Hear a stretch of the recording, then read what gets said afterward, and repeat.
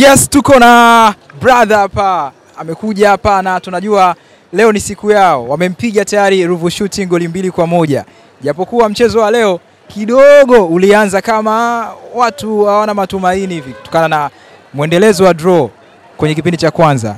Performance kwanza unaionaje hapo kwenye kipindi cha kwanza kiujumla?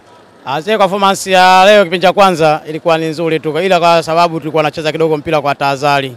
Unajua tarehe nane tuna game ngumu sana na wale Al Hilal, ndio maana wachezaji wetu walikuwa wacheza kwa tahadhari, lakini tulivyotoka kipindi cha kwanza, kipindi cha pili tulivyoingia, kulingana na wachezaji wetu kumsikiliza kocha anachokihitaji, kweli tukabadilisha matokeo Okay. yeah. Na kipindi cha pili tumeona Faisal ameweza kufumania nyavu, lakini pia Mwamnyeto ameweza kufumania nyavu.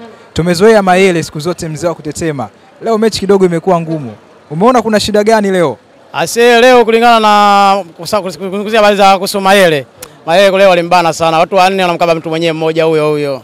Na ndio maana alijitahidi sana. Lakini hata sisi tumeona Mayele hana kosa. Kulingana leo walimbana sana, alimbana na yeye hakuweza kucheza kwa kujituma. Kwa sababu ana kazi kubwa sana tarehe nane. Ndio maana leo kacheza kwa tahadhari. Tarehe nane tupo wananchi tuje tutafurahi vizuri kabisa. Leo walikuwa na bahati sana wale wavuvi wale. Walikuwa nakula nyingi wale. Lakini hawashukuru sana Al Hilal ndio wale kidogo wamepunguza kidogo kasi. kuweka na mpira walicheza Yanga kwa tahadhari, hata si washabiki hatukuumia sana. Tunashukuru sana kwa matokeo tuliyopata. Tulikuwa nataka si pointi tatu tu basi. Na kwetu tulivyofanikisha tulipopinja pili, kwetu pointi tatu kuja kuzipata.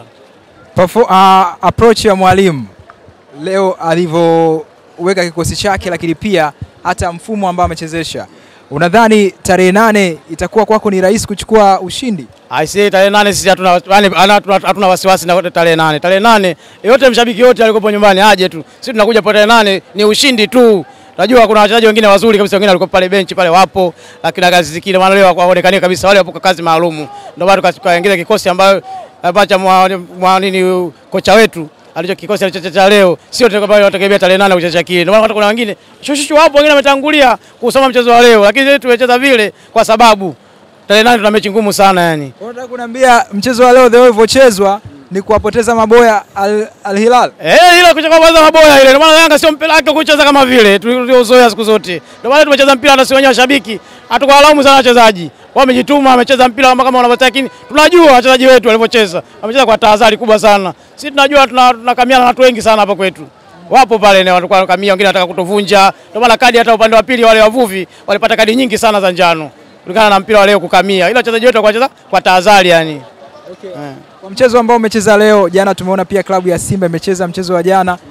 Unadhani pia kwenye ligi kuu mtapokutana kwa hivi tu hizi mechi za karibuni ya jana na hii mechi ya leo, una, una imani na klabu yako anaenda kumpiga tena Simba mwendelezo wa kuweza kumpiga dabo? Aba, watu wapo wanaongea, lakini kuna wengine washabiki wa Simba kabisa kabisa wanakuambia hiyo tarehe hiyo Simba na Yanga watu kuja uwanjani hapa, wanajua kusema matokeo yote wanayo, lakini sisi tunawaambia wasiogope, waje tu Sio wasifikirie mpira tunaocheza tunaocheza sisi kama vile tunacheza leo na tarehe nane tunacheza kama huo. Kitu hakiwezekaniki. Uwezo wa kufunga Yanga yeye Simba hana huo. Na hiyo mpaka sahau kumfunga Yanga hiyo.